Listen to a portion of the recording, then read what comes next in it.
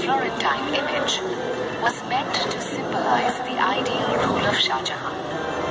whose justice would make the lion lie down with the lamb and, in the human world, free the oppressed from their oppressors. Apart from the figure of Orpheus, the numerous images of birds inlaid on the marble wall also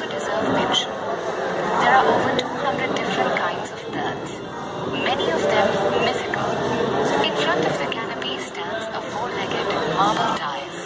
inlaid with precious